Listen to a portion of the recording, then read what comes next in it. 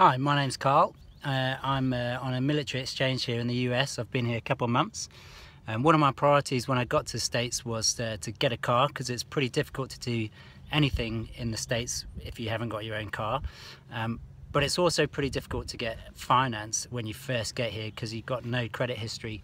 Um, so a friend recommended International Auto Source and uh, they helped sort me out with uh, a decent rate on a, a lease for a vehicle. And uh, this is my truck.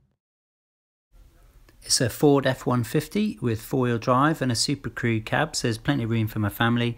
It's perfect for everything that I want to do while I'm out here in the States. Getting it through International Auto Source meant I didn't have to wait six months to build up a decent credit history.